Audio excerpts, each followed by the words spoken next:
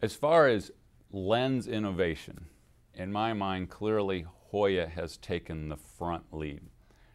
That's because everything that Hoya does has to do with the bending and manipulating of light.